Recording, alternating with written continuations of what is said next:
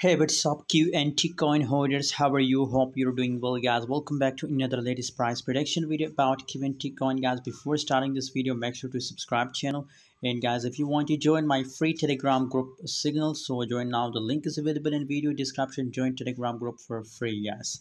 QNT coin is pumped very well. As you can see here, there is so volatile. There is so moment in our QNT coin.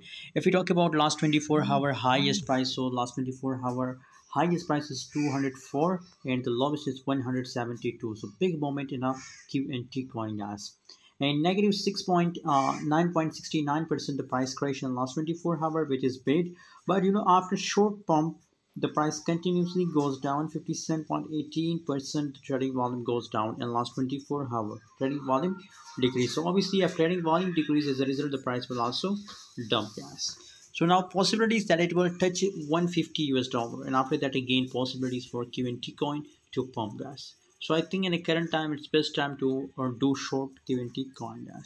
Thanks for watching guys. See you in next video. Don't forget to subscribe channel.